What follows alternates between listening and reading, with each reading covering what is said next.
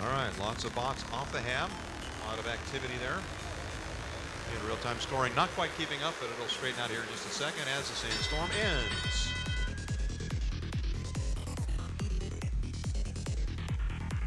Get a Rylines jumping ahead there.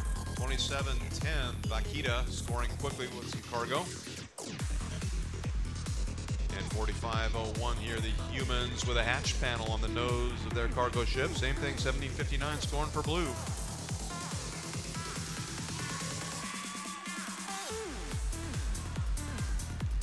And 207 now looking at their rocket. They've got two hatch panels in place already.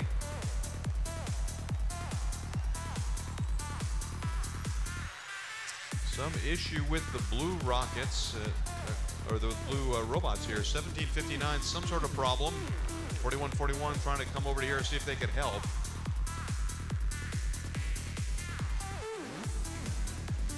And they uh, bump start them, and away they go.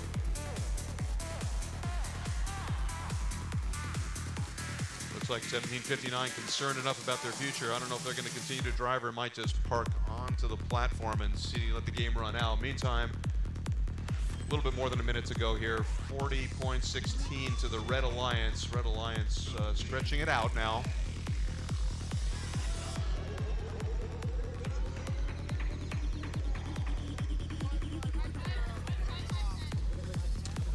And 5510 going to get disabled because they've lost their bumper. Can't leave substantial parts of your robot on the field. Little bits and pieces are sort of inevitable, but that's a big one. So the bumpers were also partly for a safety of not only their robot, but other people's robots as well. So bad news for the Blue Alliance. That's going to sting. Meantime, the Red Alliance stretching it out here, coming up on 20 seconds. 20 seconds to go. 45-10 deploying a ramp gizmo of some sort there. Robots up. Let's see how red finishes out in the next 10 seconds. Got three up on the lowest level of the platform, I'm not sure as time runs out here. And there we go here. Whatever else they had planned couldn't come true. So three robots for red, two robots for blue, on to the lowest level of the HAB platform. sliding up in the rankings a little bit. Let's see, where were they? 207 was 7, now they are 6.